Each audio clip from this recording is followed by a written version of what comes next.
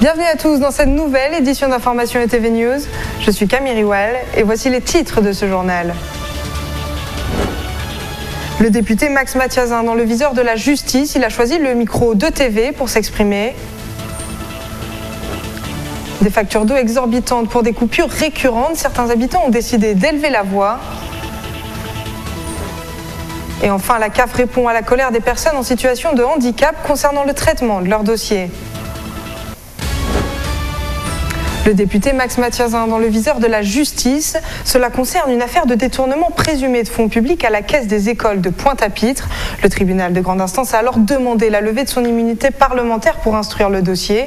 De son côté, eh bien, le député a choisi de s'exprimer au micro de TV. On l'écoute tout de suite.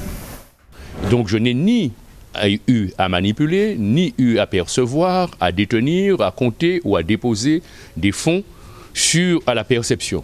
Je rappelle, et c'est une, précision utile, que le régisseur qui est nommé, qui, gère la régie, qui tient la régie, est nommé avec un, adjoint ou une adjointe. Et que le, le, qu'il travaille sous la responsabilité du percepteur. Par conséquent, euh, c'est le trésor public qui le contrôle. Je n'en suis pas le patron, sauf d'un point de vue administratif. Mais du point de vue de la gestion des finances, je n'en suis pas le patron, le directeur n'en est pas le patron. Par conséquent, c'est extrêmement clair pour moi. S'il y a des tournements, euh, c'est ce que le juge doit déterminer, puisque au moment où je vous parle, il semblerait qu'il y ait deux personnes de mise en examen. Mais euh, je dis très bien que euh, je verrai ce que donne cette demande, cette supposée demande ou demande de, de levée d'immunité parlementaire. Ça ne signifie pas que je ne suis plus parlementaire, mais ça signifie que compte tenu de mon immunité, ça donne l'occasion, ça donne la possibilité à, la justice, policiers, euh, juges d'instruction, de pouvoir m'entendre. eh bien, quand je serai euh, entendu dans cette affaire, ce sera simplement mon cri euh, de l'innocence. Des factures d'eau exorbitantes malgré des coupures récurrentes. Le manque à gagner est considérable pour certains d'entre nous. Alors, dans certaines communes, les voix s'élèvent. Marjorie Nadal a suivi une habitante de Saint-François en colère. Comme chaque semaine, Marie-France se rend à son compteur d'eau. Elle vient vérifier, sur les conseils du SIAG, qu'il n'y a aucune fuite. Je vais redescendre dans une demi-heure, voir si le compteur éventuellement a bougé mais je sais qu'il ne bougera pas puisque je n'ai aucune fuite d'eau entre le compteur et ma maison, vérifiée depuis des mois. Aucune fuite donc, et pourtant Marie-France ne cesse de recevoir ces derniers mois des factures exorbitantes. Le gestionnaire des eaux de sa commune est venu plusieurs fois, mais rien ne change. Une facture euh, qui date de 2018 avec euh, une consommation de 14 mètres cubes d'eau, ce qui peut paraître euh, à peu près normal. Et il m'est arrivé cette facture de 104 mètres cubes d'eau, donc en début d'année à 619,08 euros que j'ai refusé de payer. Ce n'est pas ma consommation, je vis seule, c'est impossible que j'ai dépensé 104 mètres cubes d'eau. Selon le SIAG, la consommation moyenne d'un ménage est d'environ 40 mètres cubes par an et par personne. Cela voudrait dire que Marie-France consomme en un trimestre 10 fois sa consommation annuelle. Pourtant, c'est désormais des relances avant contentieux qui lui parviennent. Je vis seule, et même un peu d'une façon un peu sauvage. Je reçois euh, pratiquement plus personne d'amis pour euh, déjeuner ou faire quelque chose.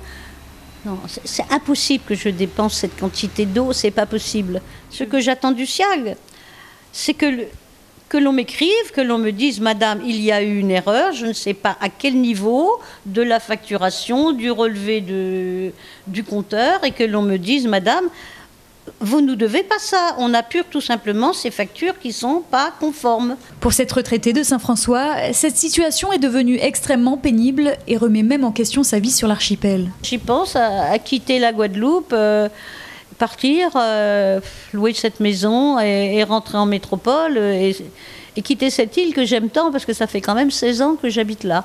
En plus de ces factures exorbitantes, Marie-France doit remplir chaque jour des bouteilles pour pallier aux coupures d'eau deux à trois fois par semaine, et ce seulement pour pouvoir faire une simple vaisselle.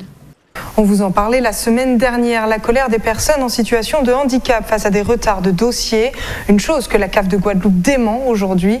L'organisme a d'ailleurs mis en place un processus bien rodé dans le traitement des dossiers. On écoute tout de suite le directeur.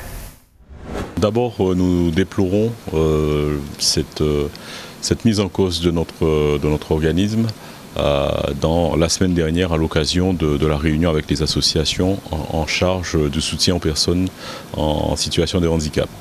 la situation, elle est beaucoup plus claire que, cela. Nous sommes quasiment à jour du traitement des dossiers à la CAF avec euh, des délais de traitement de, 14 jours pour les dossiers complets. Donc ça, c'est un, un, un, fait. Euh, par ailleurs, euh, nous mettons en œuvre un certain nombre de, services à, l'adresse des, personnes en situation de handicap pour, pour qu'ils accèdent plus facilement à leurs droits et qu'ils bénéficient ainsi de l'accompagnement social de la caisse d'allocation familiale. C'est en quelque sorte une, une, offre de service globale que nous proposons aux personnes en situation de handicap et nous avons entrepris de travailler avec les associations en charge euh, de ces questions pour faciliter euh, la vie au quotidien des personnes en situation de handicap. Donc c'est une offre de service euh, étoffée qui se déploie avec les associations, avec les bénéficiaires, mais aussi avec les partenaires institutionnels comme la MDPH. Les restaurants McDonald's de Guadeloupe se préparent pour leur grand jour. Le 16 novembre prochain, l'enseigne organise une journée caritative. Objectif reverser l'ensemble des ventes de Big Mac à deux associations. On écoute tout de suite le superviseur et le parrain de l'opération. Alors, le 16 novembre, comme chaque année, ben, on organise le grand jour. Donc le grand jour, c'est cette journée où on récolte des fonds euh, pour aider la lutte contre la drépanocytose, mais aussi pour accompagner l'école de la deuxième chance.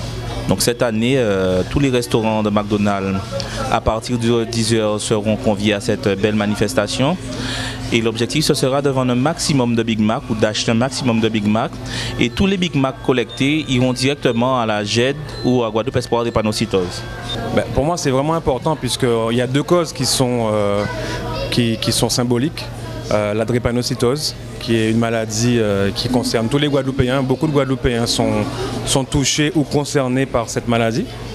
Et euh, moi, je travaille aussi à l'hôpital. Je travaille dans un laboratoire qui, qui développe le diagnostic de la drépanocytose. Donc voilà, pour moi, c'est très important à titre personnel, mais aussi pour tous les Guadeloupéens. Et ensuite, ben, l'insertion des jeunes. C'est quelque chose de très fort en tant que Guadeloupéen, que militant, en tant qu'artiste c'est aussi pour moi important que d'aider les jeunes, les jeunes qui ont envie, qui sont motivés pour se réinsérer, pour qu'ils aient une deuxième chance en quelque sorte. Et c'est la fin de cette édition, mais avant de nous quitter, voici le rappel des principaux titres. Le député Max Mathiazin dans le viseur de la justice, il a choisi le micro de TV pour s'exprimer. Des factures d'eau exorbitantes pour des coupures récurrentes, certains habitants ont décidé d'élever la voix. Et enfin, la CAF a répondu à la colère des personnes en situation de handicap concernant le traitement de leur dossier. Merci à tous de nous avoir suivis et à très bientôt sur ETV.